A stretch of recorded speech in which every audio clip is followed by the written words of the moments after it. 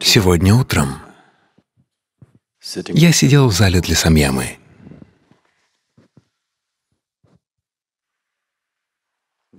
Нужно было позаботиться о некоторых вещах, и я собрался написать записку одному человеку. Завтра необходимо. Я написал одно слово «завтра», и оно так сильно меня затронуло, что вместо записки я написал небольшое стихотворение. Не для этого человека, для вас. Стихотворение называется «Завтра». A day that never came, but has managed to spoil every game. A day that never came, but has managed to spoil every game. One day that takes all the blame, the basis of all fear and shame,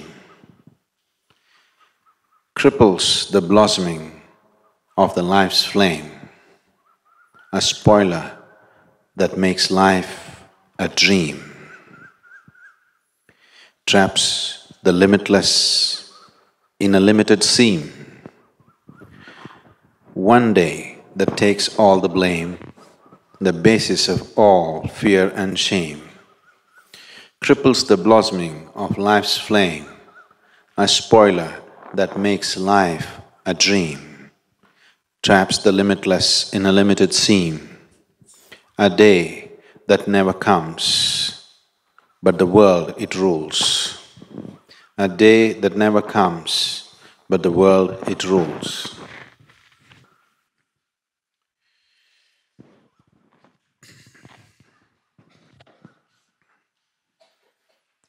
Завтрашний день никогда не наступал ни для кого, но одно только представление о завтрашнем дне отняло жизни у огромного количества людей. Никто в своей жизни не прикасался к завтрашнему дню, никто никогда его не испытывал, никто никогда его не видел.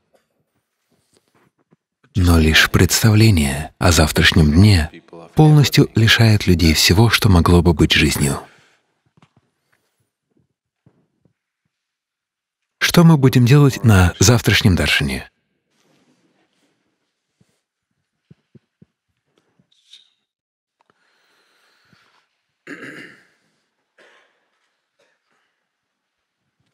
О, завтра, когда я приду на даршин, я принесу зонтик.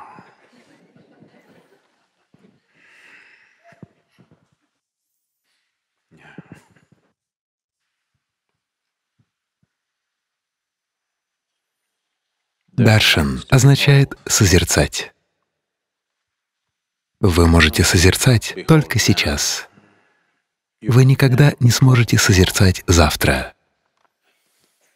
Не потому, что этот день недосягаем, а потому что его не существует.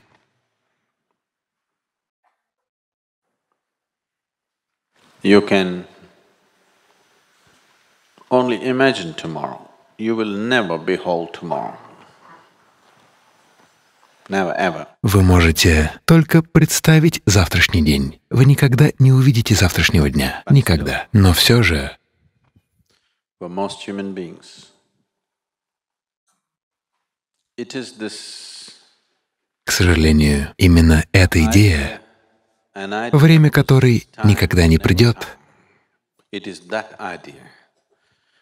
управляет жизнями большинства людей. Даже если вы управляете со своей жизнью с помощью идеи,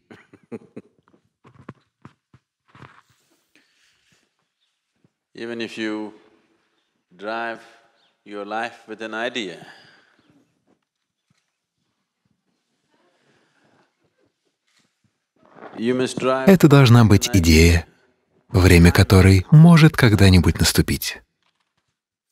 Но это идея, время которой никогда не наступит. И все же по-прежнему она движет людьми. Она по-прежнему движет большинством жизней на планете. Вот почему. Большинство жизней на этой планете — не жизни. Это просто куча мыслей, эмоций, идей и предрассудков. Большинство жизней происходит не в реальности. Это просто психологическое существование, просто мечты. Потому что реальность происходит сейчас. Реальность происходит здесь. В вашем уме могут произойти только мечты.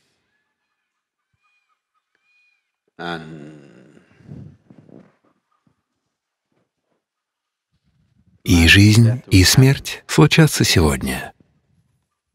Мечта же принадлежит завтрашнему дню. Лучше мечтать о чем-то, что сбудется, Завтрашний день — это мечта, которая никогда не сбудется. Так что то, что вы называете духовным процессом, это познание жизни. Вы можете познать жизнь только сегодня.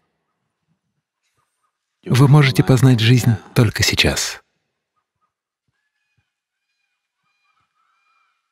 Это тот самый момент.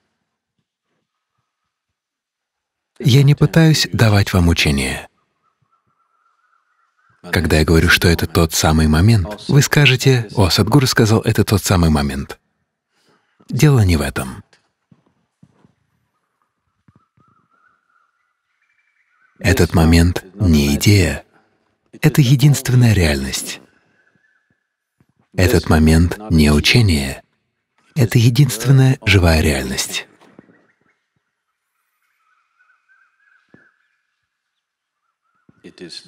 Единственная живая реальность — это сейчас. И больше ничего нет.